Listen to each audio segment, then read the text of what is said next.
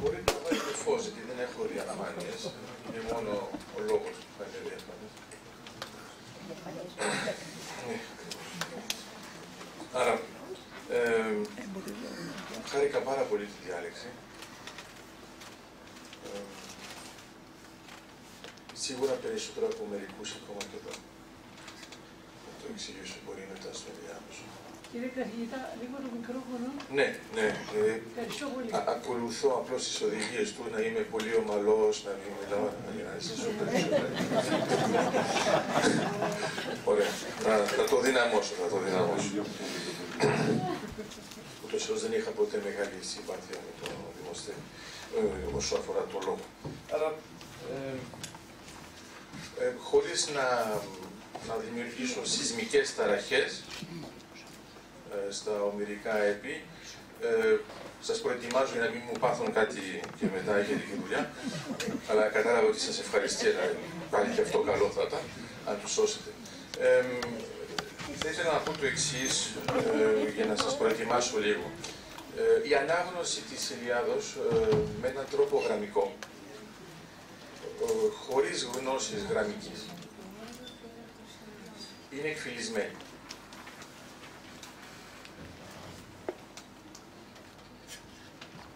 Το ελπίζω να μην σας στεναχώρησα πάρα πολύ, α, γιατί βλέπω μερικά βλέμματα που έχουν, ε, δεν έχουν φύγει τα σταγόνια ακόμα, αλλά τέλος πάντων, η ιδέα ποια είναι; Είναι ότι ε, διαβάζουμε την Ηλιάδα απλώς ως κείμενο και το αναλύουμε ως κείμενο, χωρίς να εξετάζουμε το αντικείμενο. Δίνω ένα παράδειγμα. Ο πρώτος που πραγματικά διάβασε την Ιλιάδα με την δικιά μου την προσέγγιση είναι ο Σλίμαν. Ο Σλίμαν. Δηλαδή ο- ένας Γερμανός, ε, ουσιαστικά άσχετος, με τα φιλολογικά, ε, με αυτή την έννοια, που θεώρησε ότι μέσα σε αυτά τα πράγματα που όλοι οι άλλοι θεωρούν απλώς ότι είναι ένα κείμενο, μπορεί να υπάρχουν και κάποια άλλα στοιχεία. Τα άλλα στοιχεία συνήθως είναι λεπτομέρειες και εμείς στη στρατηγική λέμε ότι οι λεπτομέρειες ε, στις οποίες δεν δίνουμε σημασία γίνονται προβλήματα και αυτές στις οποίες δεν δίνουμε σημασία γίνονται ενδείξεις. Και το πιο εντυπωσιακό είναι ότι παρόλο που είχαμε μεγάλους ειδικούς και πριν τον Σλέμαν, ε, κανένας δεν ήταν ικανός να ε, βρει που είναι η τρία, να βρει που είναι οι Μικίνες και θεωρούσαν όλοι ότι απλώς ήταν κείμενο. Όταν εξετάζουμε τώρα την Ιλιάδα, και θέλω να σας δώσω ένα παράδειγμα ε, νοητικό, ε, θυμάμαι στις ε, ομερικές σπουδές με τον καθηγητή Μισελ Κασβίτς, ε, ταυτόχρονα ε, μελετούσαμε και τα κείμενα και τις πινακίδες. Όταν ε, εγώ είχα έρθει εκεί πέρα ως μαθηματικός, άρα ως εξωγήινος για τους φιλόλογους, και ε, τους βλέπω όλους να έχουν ε, χαρτάκια με πίνακες για τις αντιστοιχίες. Δηλαδή ήταν τα συλλαβογράμματα και πρέπει να δουν, ας πούμε, τι αντιστοιχεί και να διαβάσουν μια πινακίδα. Εγώ νόμιζα στο μάθημα όταν ήρθα ότι έπρεπε να τα ξέρουμε από πριν. Άρα εγώ πήγα ε, γνωρίζοντας τα συλλαβογράμματα. Γιατί νόμιζα ότι ήταν στην ύλη. Λέω, αφού διαβάζουμε κυναϊκά, θα διαβάζουμε κυναϊκά. Αλλά δεν ήξερα ότι διαβάζουμε κυναϊκά μέσω του πίνακα αντιστοιχία. Στην πραγματικότητα δεν διαβάζουμε κυναϊκά. Θέλω να σας πω με αυτό. Ε, μετά, όταν ε, ο καθένας διάβαζε, και σε κάποια φάση έφτασε στο γύρο μου, η σειρά μου, και, και εγώ διάβασα. Αλλά προσέξτε, διάβασα χωρίς να ξέρω τι διαβάζω. Εντάξει, μην τρελαθείτε. Απλώς διάβαζα. Και μου λέει, Μα θυμάστε τα συλλαβογράμματα. Λέω, δεν είναι στην ύλη. Άρα, ακόμα και εδώ κατάφερα να είμαι εκτός ύλης. Άρα, τι θέλω να πω; Από εκείνη την ημέρα, βέβαια, δεν ξανακάνουμε ποτέ αυτή την άσκηση. Ε, Είπε ότι σε όλους τους άλλους, εφόσον αυτό μαθαίνεται από κάποιον, να στο μάθουν και οι άλλοι. Και έτσι διαβάζαμε κατευθείαν τις πινακίδε. Τι θέλω να πω; Φανταστείτε τώρα να μαθαίνετε ελληνικά και να μαθαίνετε ελληνικά μόνο μέσω μετάφρασης στα αγγλικά. Δηλαδή κάθε φορά που βλέπετε ένα ελληνικό γράμμα, το βάζετε στα αγγλικά, τα εθνικά γράμματα, και κάνετε όλη την ανάλυση σας και μετά το ξαναγράφετε στα ελληνικά και λέτε ότι μιλάτε ελληνικά. Έτσι δεν γίνεται. Στην πραγματικότητα, θεωρητικά, για κάποιον που είναι εξωτερικός παράγοντας, θεωρεί ότι όντως σχεδόν μιλάτε ελληνικά. Στην πραγματικότητα δεν μιλάτε, γράφετε. Αυτό που προσπαθώ να σας πω εδώ είναι το εξής. Στα ομιλικά έχουμε πολλούς ειδικούς της αρχαίας ελληνικής γλώσσας. Στην πραγματικότητα είναι οι ειδικοί του 5ου, μετά σιγά σιγά έγιναν οι ειδικοί του 8ου, ε, αλλά δεν έγιναν ποτέ οι ειδικοί του 13ου. Που είναι η περίοδος. Τι εννοώ με αυτό; Όταν ο Βέντρης αποκάνει την αποκρυπτογράφηση και από την γραμμική Β επιτέλους περνάμε στα μικυναϊκά, γιατί αν θυμάστε καλά, ο Εύανς έλεγε η γραμμική Α και η γραμμική Β επειδή ήταν απλώς γραμμικές. Ε, είναι οι Έλληνες που συνεχίζουν να λένε γραμμική Β, ενώ έχουμε διαβάσει τα μικυναϊκά. Φανταστείτε, ας πούμε, ότι θα λέγαμε και γραμμική και για τα ελληνικά, εφόσον και αυτά είναι γραμμικά. Θα ήταν η γραμμική ωμέγα, από το α ως το ωμέγα. Στην πραγματικότητα τι γίνεται, όταν στέλνει τις επιστολές της αυτογράφησης, ειδικά στην Ελλάδα κανένας δεν το δέχεται γιατί θεωρούν ότι, όλοι ότι ε, τα μικυναϊκά δεν είναι ελληνικά. Το σόπλα. Ε, τελικά θα βρει τον Σάντουικ, θα είναι ο πέμπτος στη σειρά που θα ακολουθήσει τη λέει και πάνω κάτω τι θέλει ο Βέντρης που έχει ακολουθήσει το έργο της Κόμπερ, να και μια γυναίκα που πάλι μας βοήθησε, γιατί είδε πώς ε, υπάρχει κλίση. Και στην πραγματικότητα θα δει ότι ο κώδικας σπάζεται, γιατί ε, στην πραγματικότητα, αν θυμάστε καλά, ο Βέντρης μόνο φιλόλογος δεν ήταν, ήταν αποκρυπτογράφος του Αγγλικού στρατού. Άρα αυτός σε κάποια φάση είχε ακούσει μια διάλυση του Evans και ήθελε να σπάσει αυτόν τον κώδικα. Όταν σπάζουμε έναν κώδικα κλασικό, που είναι κωδικοποιημένη γλώσσα είναι ότι κάποιος εξεπίτηδε έκανε έναν κώδικα για να μην τον διαβάζουν οι άλλοι. Ενώ εδώ αυτοί απλώς μιλούσαν, εμείς ξεχάσαμε τον κώδικα και μετά λέμε με τι έγραφαν. Άρα η προσέγγιση του είναι διαφορετική με την έννοια ότι όταν διαβάζουμε μικυναϊκά δεν διαβάζουμε έναν κώδικα που γράφτηκε για να μην το διαβάσουμε. Γράφτηκε απλώς εμείς ξεχάσαμε πώς διαβάζεται. Όταν το κάνει αυτό, ε, πολλοί από εσάς, το λέω τώρα ειδικά για τους φιλόλογους, ε, αν νομίζετε ότι πιο παλιοί φιλόλογοι δέχτηκαν τι είπε ο Βέντρης, κάνετε λάθος. Ακόμα και μετά την αποκριτογράφηση δεν το δέχτηκαν. Και έπρεπε να εμφανιστεί πινακίδα που να έχει τρίποδα και να είναι γραμμένο τυρίποντε και να πούν μπορεί και να στέκει. Ευτυχώς που αυτή η πινακίδα εμφανίστηκε μετά στην αποκρυπτογράφηση, γιατί άμα είχε εμφανιστεί από πριν θα του είχαν πει ότι είχε κάνει τον κώδικα έτσι ώστε να ταιριάζει. Όταν διαβάζετε την Ιλιάδα, θα δείτε ότι η λέξη, ας πούμε, τρίποδας εμφανίζεται πάρα πολύ συχνά και εμφανίζεται ως δώρο. Εμείς το παίρνουμε αυτό σαν μια λεπτομέρεια, δηλαδή και κολοκύθινα έγραφε εκείνη τη στιγμή, θα λέγαμε το κολοκύθινε δώρο. Ε, το ενδιαφέρον είναι ότι όταν διαβάζουμε μετά τι πινακίδες στα Μικυναϊκά, βλέπουμε ότι ε, η λέξη τρίποδας συνήθως είναι η αφιέρωση προς Θεό. Δηλαδή δεν ήταν τυχαίο, σαν παράδειγμα. Αυτό σημαίνει ότι άμα μπείτε στη διαδικασία της μελέτης των Μικυναϊκών, μετά άμα πάρετε ένα τετραδιάκι, όπου καταγράψετε, που θα καταγράψετε όλες τις λέξεις που βλέπετε, εκείνης της εποχής που είναι γραμμένες σε αληθινές πινακίδες.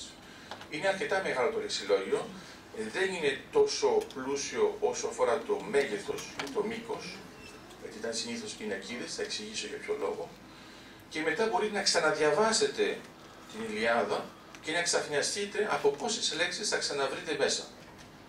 Διότι η Ιλιάδα έχει ένα πρόβλημα και είναι το εξής. Είναι το ίδιο πρόβλημα που έχουμε, ας πούμε, όταν διαβάζουμε τους μεγάλους τραγικούς. Τα κείμενα που έχουν γράψει δεν αφορούν την εποχή που γράφονται αφορούν πολύ παλαιότερες. Που σημαίνει ότι έχουν τουλάχιστον 4 με 5 αιώνες διαφορά σε σχέση με το κείμενο. Σας δίνω ένα παράδειγμα χειροπιαστό. Όταν διαβάζουμε τις πινακίδες, κατευθείαν τις ε, αυτούσιες πινακίδες στα μικυναϊκά, δεν υπάρχει ποτέ η λέξη Αφροδίτη. Γιατί πολύ απλά, στο μικυναϊκό πολιτισμό η Αφροδίτη δεν είναι θεά δεν υπάρχει. Έχει ενδιαφέρον γιατί όταν διαβάζετε Σοφοκλή θα δείτε ότι θεωρεί αυτονόητο ότι υπάρχει η Αφροδίτη ως θεά. Και κάνει αυτό το λάθος και το γράφει. Άμα ξαναδιαβάσετε την αρχή από την Ηλέκτρα, θα δείτε την αναφορά σε μια θεά που δεν υπάρχει εκείνη την εποχή. Αυτό σημαίνει πρακτικά τι; Σημαίνει ότι ο Σοφοκλής ξέρει λιγότερα πράγματα για το μικυναϊκό πολιτισμό από εμάς μετά τον Βέντρης. δηλαδή από μερικοί από εμάς μετά τον Βέντρης. Γιατί είναι μερικοί που είναι ακόμα πριν το Βέντρης. Για όσους είναι μετά, καταλαβαίνουν ότι υπάρχουν μερικά τεχνικά λάθη που προέρχονται από το γεγονός ότι ενσωματώνουμε κοινωνικά στοιχεία της εποχής μας όταν γράφουμε για άλλη εποχή. Ας πούμε, επειδή αναφερθήκατε και στο 1453, είναι αν τώρα ας πούμε γράφαμε ένα ωραίο κείμενο που αφορούσε την άρρωση της Φωταζούπολης και τα δικά μας δεδομένα τώρα, θα βλέπετε ότι σιγά σιγά θα ενσωματώναμε πράγματα από τον κοινωνικό ιστό, από το πολιτικό, θα είχε υπονοούμενο που δεν υπήρχαν εκείνη την εποχή. Αυτό είναι ακριβώς αυτό που κάνουν οι τραγικοί. Στην πραγματικότητα, από την άλλη πλευρά, όταν διαβάζετε μόνο πινακίδες, ε, εμένα τουλάχιστον αυτό μου βγήκε, ε, έρχεται μια απαγοήτευση γιατί λέμε καλά ρε παιδιά, δεν έγραψαν τίποτα το σημαντικό. Έτσι λίγο πιο ένα ποίημα επιγραμματικά υπάρχουν, επίμετρα υπάρχουν, αλλά είναι, άντε το πολύ να είναι δύο σειρές. Είναι όλα πολύ μικρά ε, σε μέγεθος. Για ποιο λόγο, γιατί η κοινωνία, η κοινωνία της εποχής, αυτό που θεώρησε πολύ σημαντικό ήταν τα λογιστικά. Την πίσνα. Ε, Δηλαδή πόσα πήραμε, πόσα δώσαμε, τι φάγαμε, τι δεν φάγαμε. Αυτό ήταν το σημαντικό. Και έχει ενδιαφέρον γιατί άμα το σκεφτείτε ήταν σημαντικό για μία εποχή μόνο. Γιατί προσέξτε, αυτό είναι πάνω σε πυλό, πάνω σε πυλό που δεν ψήνεται. Άρα στο τέλος της χρονιάς, όταν έχουν κάνει όλα, όλους τους υπολογισμούς, το ξαναλιώνουν, ξαναφτιάχνουν πινακίδες. Πρέπει λοιπόν να καταλάβουμε το εξής. Όταν διαβάζουμε τις πινακίδες στα Μικυναϊκά, διαβάζουμε μια φωτογραφία Δηλαδή, γιατί είναι από λάθος που ψήθηκαν. Από λάθος. Άρα διαβάζουμε εμείς μια φωτογραφία που θα μπορούσε να ήταν λίγο διαφορετική άμα ήταν άλλη περίοδο. Αυτή η φωτογραφία έχουμε και μερικές πινακίδες όπως είναι μερικές περίφημες και στην πύλο που έχουμε την αρχή της πινακίδας που γράφεται και δεν την έχει τελειώσει και είναι καμένη. Και ξέρουμε ακριβώς, ε, έκανε και μάλιστα και ορθογραφικά λάθη, όπως και εγώ όταν μιλάω. Άρα, στην πραγματικότητα τι γίνεται. Έχουμε λοιπόν μια κοινωνία που θεωρεί ότι αυτό που είναι σημαντικό δεν είναι καθόλου το έπος. Είναι οι αφιερώσεις σε μερικούς θεούς και όλα τα άλλα είναι η λογιστική. Ξαφνικά λοιπόν καίγονται όλα αυτά, τα έχουμε, τα ξαναδιαβάζουμε. Θα μου πείτε τώρα τι σχέση έχει με το νόμερο. Αυτό νομίζω ότι είναι το πιο εντυπωσιακό. Όταν διαβάζετε μόνο τις πινακίδες, αυτό που σας έλεγα προηγουμένως, είναι η απογοήτευση γιατί δεν έχει μεγάλο υλικό. Αλλά το μεγάλο υλικό του μικυναϊκού πολιτισμού είναι η Ιλιάδα. Άρα στην πραγματικότητα ερχόμαστε σε ένα άλλο θέμα. Η μυθολογία είναι η ουσία της ιστορίας. Άμα διαβάζετε μόνο ιστορία, τότε είναι οι πινακίδες. Τότε θα δείτε ότι είναι εκφυλισμένο ότι μοιάζει πιο πολύ με κάτι το δημοσιογραφικό. Λέει τα έξοδα, τα έσοδα, το χρέος. Το θυμίζει κάτι αυτό. Μετά όταν κοιτάζουμε τι γράφει η Ιλιάδα, βλέπουμε το έπος, βλέπουμε το ήθος. Πολλοί όμως από εμάς δεν καταλαβαίνουν ότι στην Ιλιάδα οι αντίπαλοι είναι και οι δύο Έλληνες. Είναι εμφύλιος. Είναι το κέντρο με τα άκρα. Στην πραγματικότητα όταν μιλάμε για τους Τρόες, τα μικρά παιδιά νομίζουν ότι είναι άλλοι. Οι πιο μεγάλοι μετά καταλαβαίνουν ότι είναι οι ίδιοι και λέγανε και την ίδια γλώσσα, όταν βλέπετε μάλιστα και τα ονόματα. Το άλλο που έχει ενδιαφέρον, τώρα είναι λίγο πιο ύπουλο και λίγο πιο στρατηγικό, είναι να κοιτάξετε ποιοι θεοί ήταν με ποιους. Και αυτό που έχει ενδιαφέρον είναι ότι οι θεοί που εμφανίζονται στο μικυναϊκό πολιτισμό είναι πάνω με του Έλληνε από την πλευρά των Ελλήνων και όχι με τους Τρόε. δεν ξέρω αν το είχατε παρατηρήσει αυτό, έχει ενδιαφέρον. Π.χ. η Αθηνά είναι από την πλευρά ε, του Αχιλέα, επειδή αναφερθήκαμε στον Αχιλέα, ενώ η Αφροδίτη είναι από την πλευρά του Έκτορα. Στην πραγματικότητα τι έχει γίνει; Ο Όμηρος δεν ήξερε πια ποιος Θεός ήταν εκείνη την εποχή σημαντικός ή όχι. Άρα έπρεπε να βάλει μια πώς να το πω, μια διαφοροποίηση και μια κατάταξη. Θυμάστε, επειδή αναφερθήκατε και ε, στους θεούς, ε, έχετε απόλυτο δίκιο, οι γυναίκες δεν είχαν καμία σημασία στην αρχαιότητα, εκτός από τις θέες. Που αυτό είναι απίστευτο, γιατί άμα κοιτάξετε το 12 είναι 6-6. Γυναίκες 6 άντρες. Αυτό είναι να το βρείτε σε πολλές θρησκείες, μπορείτε να το ψάξετε. Βέβαια έχει ενδιαφέρον είναι ποια είναι η σχέση της γυναίκας με τη θεά, ό,τι φαίνεται καμία. Είναι παρεμπιπτόν. Επιπλέον, όπως θυμάστε, η Θεία Αθηνά είναι κάπως ειδική. Άρα, όταν μιλάμε για αυτή την προσέγγιση, σημαίνει ότι ε, ο Όμηρος σε κάποια φάση έπρεπε να βάλει και κάποιους από την άλλη πλευρά.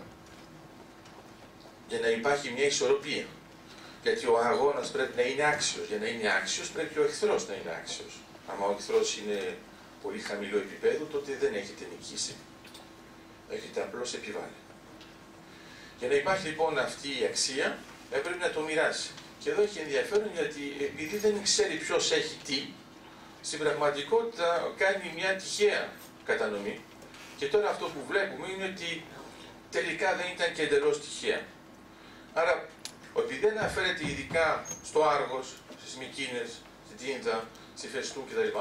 Όλα αυτά τα στοιχεία τα ξαναβλέπουμε. Όταν εμείς τα διαβάζουμε πάνω στις πινακίδες, έχει ενδιαφέρον. Γιατί άμα το σκεφτείτε, οι περιοχές που καταγράφονται μέσα στον Όμηρο, άμα δεν διαβάζατε Όμηρο και διαβάζετε ένα κείμενο πιο παλιό, θα τις βρίσκατε; Γιατί προσέξτε, τώρα εμείς το κάνουμε ανάποδα. Επειδή ξέρουμε ήδη τους αρχαιολογικούς χώρους, όταν διαβάζουμε τον Όμηρο και τα παιδιά μας, όταν τα διαβάζουν στο σχολείο, λένε Α, είναι εκεί αυτό που γράφεται εδώ. Άρα φανταστείτε ότι εκείνη την εποχή δεν ξέρουμε πού είναι. Άρα, στην πραγματικότητα, ο Όμηρος είναι το μόνο ίχνος της αλήθειας που έχουμε για μια ιστορική περίοδο που σίγουρα υπήρχε. Το άλλο που μπορεί να καταλάβετε πόσο είναι εντυπωσιακό είναι ότι άμα πάτε ας πούμε στον Άπλιο, να το χαρούν μερικοί, και πάτε να δείτε την πανοπλία της Μικυναϊκή, θα δείτε ότι η πανοπλία η Μικυναϊκή δεν έχει καμία σχέση με αυτό που νομίζετε ότι έχουμε βάλει μέσα στον Όμηρο. Δηλαδή τα δόντια από τα γριογούρουνα δεν τα χρησιμοποιήσαμε μετά, επειδή βάζαμε πολύ περισσότερο μέταλλο. Ε, όταν κοιτάζετε το μέγεθος από τις ασπίδες, η ελληνική ασπίδα της μεγάλης περίοδος, ας πούμε, είναι στα 90 εκατοστά, ενώ η μινοϊκή είναι πολύ πιο μεγάλη, γιατί καλύπτεται, και να ξέρετε ότι μερικές ασπίδες τις κρεμούσαν από το λαιμό. Ήταν στατικές. Όταν τις βάζουμε στο χέρι, δεν έχει καμία σχέση με εκείνη την εποχή. Άρα στην πραγματικότητα, τις μάχες που περιγράφει ο Όμηρος μέσα στην Ιλιάδα, οτιδήποτε είναι τακτικό και όχι στρατηγικό, δεν είναι μικυναϊκό. Είναι καθαρά της εποχής της γραφής. Γιατί αυτό ξέρει. Αυτό νομίζω ότι υπάρχει. Άρα ε, το κοντό σπαθί, το δόρι, δεν έχει καμία σχέση βέβαια με αυτό που θα έχουμε μετά με το Μέγα όσο αφορά το μήκος.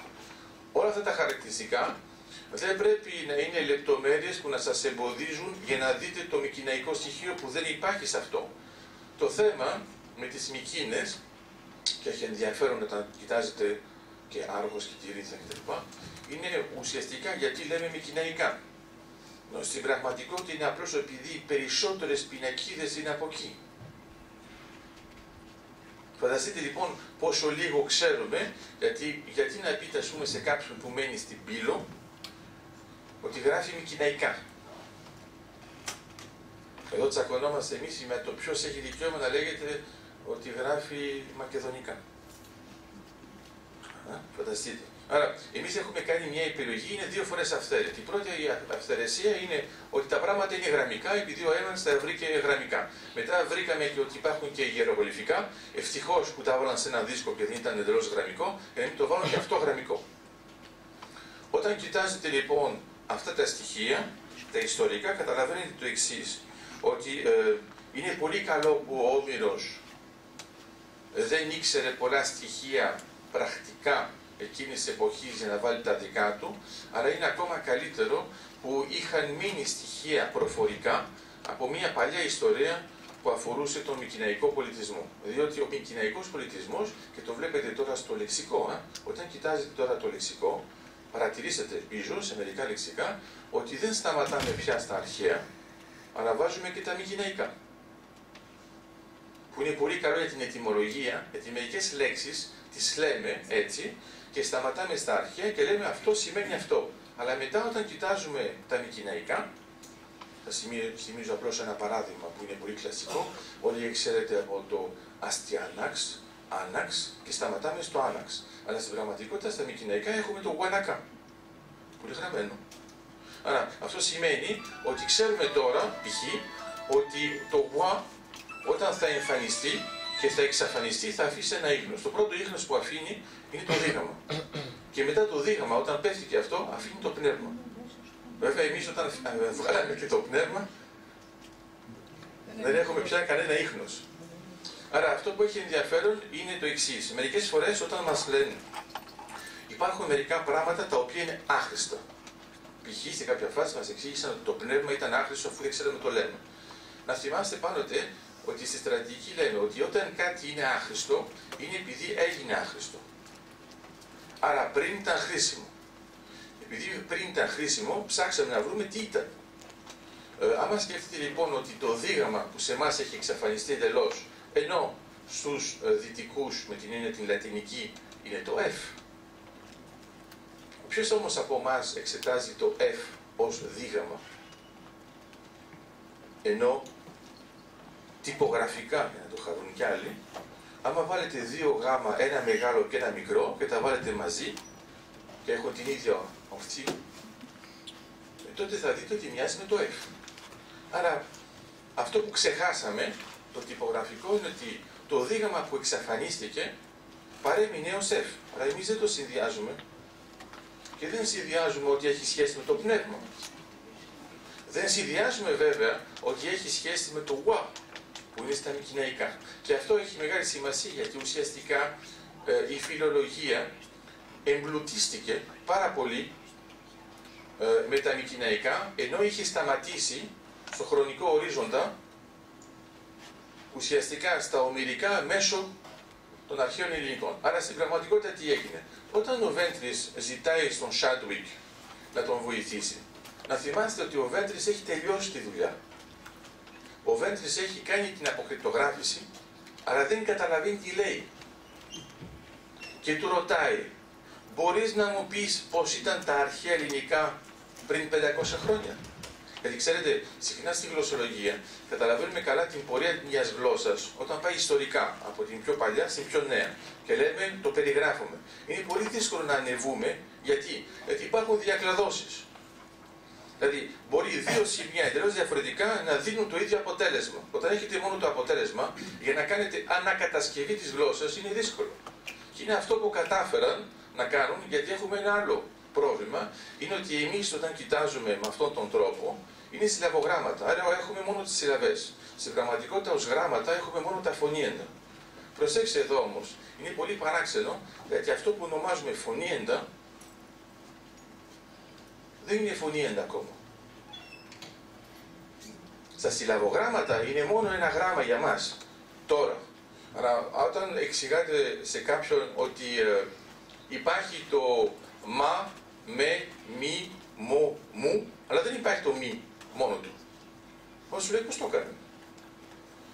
Τι θέλω να πω; Θέλω να πω ότι αν θέλετε να εμπλουτίσετε την προσέγγισή σας όσο αφορά την Ιλιάδα, θα ήταν καλό να δείτε πρώτα πώς γράφονται τα συλλαβογράμματα. Να κάνετε αληθινές ασκήσεις. Και τώρα το λέω όπως θα μιλούσα στους ξένους. Έχουμε και μερικούς ξένους.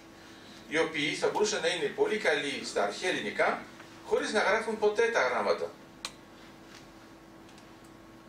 Εμείς, θυμάστε οι Έλληνες, όταν μιλάμε σε έναν ξένο, του λέμε μιλάς άπτες στα ελληνικά. Μόλις λέμε άπτες στα ελληνικά, σημαίνει ότι είναι ξένος. Λοιπόν, ποτέ κανένας Έλληνας δεν λέει σε έναν άλλον Έλληνα μιλά άπτε στα ελληνικά. Αλλά το λέω για τους ξένους τώρα. Όταν ακούτε ότι σας λένε άπτεστα, να ξέρετε ότι έχουν εντοπίσει ότι είστε ξένους. Στην καλύτερη περίπτωση. Αυτό σημαίνει λοιπόν ότι στη γραφή, μερικές φορές ε, το έβλεπε ένας Ρώσος γραφολόγος, ε, πολύ καλός, αυτός είναι που ενσωμάτωσε για πρώτη φορά την έννοια της κίνησης μέσα στη γραφή. Όταν διαβάζουμε πινακίδες, όταν βλέπετε αληθινές πινακίδες, πολύ συχνά δυσκολεύεστε γιατί δεν βλέπετε πώς γράφτηκε. Στην πραγματικότητα, αν γράφατε κι εσείς πινακίδες πάνω σε πυλό και χαράζατε, θα βλέπατε ότι μερικές στροφές δεν γίνονται και άλλες γίνονται. Π.χ. όταν έχετε ας πούμε παιδιά, αυτό σημαίνει μάλλον ότι πρέπει να τελειώσω, ε, στην πραγματικότητα, όταν γράφουμε ας πούμε με στυλό big, μπορούμε να ανεβούμε και να κατεβούμε και να πάμε πλάγι όπως θέλουμε. Γι' αυτό αποφεύγουμε στα παιδιά κανονικά, τουλάχιστον στο εξωτερικό, και τους βάζουμε κονδυλοφόρο. Γιατί δεν μπορούν να κάνουν τη γραφή όπως να είναι. Άμα πιάσετε λοιπόν τώρα μία πένα μηχηναϊκή και προσπαθήσετε να γράψετε πάνω σε πυλό, θα δείτε ότι μερικά από τα ελαττώματα που έχετε είναι αυτά που διαβάζετε. Γιατί δεν οφείλονται στο γεγονός ότι είναι ελάττωμα γραφής, είναι απλώς ότι το υλικό επιτρέπει αυτό. Όταν γράφετε ας πούμε κινέζικα, να ξέρετε ότι οι Κινέζοι έχουν ένα κριτήριο πολύ πιο καλό από εμάς για να ξέρουν αν κάποιος ξέρει Κινέζικα. Είναι. Είσαι Κινέζο. Όχι. Μιλάς από τα ελληνικά; Okay. Λοιπόν, οι Κινέζοι μας λένε, αν θες να μου πεις ότι ξέρεις ένα ιδεόγραμμα, πρέπει να ξέρεις να το ζωγραφίζεις. Εμείς δεν λέμε ποτέ αυτό. Γιατί; Γιατί θεωρούμε ότι είναι σχεδόν απλό. Ε, άμα πάρετε ένα κινέζικο ιδιόγραμμα και το ζωγραφίσετε με αντιγραφή, θα δείτε ότι δεν θα αρχίσετε από εκεί που θα το κάνει ο Κινέζος. Και θα δείτε ότι μερικές φορές θα κάνει κινήσεις έτσι, ενώ εσείς θα το κάνετε έτσι. Και σου λέει δεν κάνεις έτσι. Και λες ποια είναι η διαφορά και μετά σου εξηγεί. Τι θέλω να πω με τα κλειδιά κτλ. Ότι όσο δεν έχετε χρησιμοποιήσει με το χέρι σας την γραφή τη Μικυναϊκή, μη λέτε ότι ξέρετε για την Ιλιάδα. Αυτό τίποτα. Ευχαριστώ πολύ, να είστε καλά.